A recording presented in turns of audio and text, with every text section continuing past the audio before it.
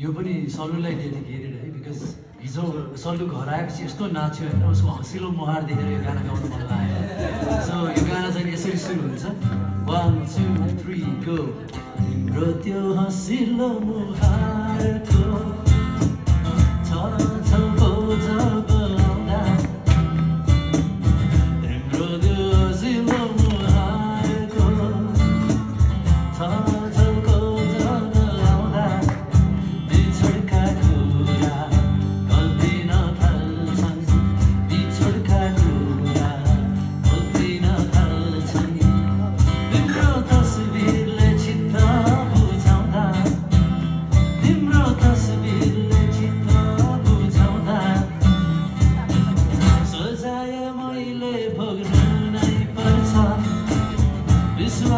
Canada.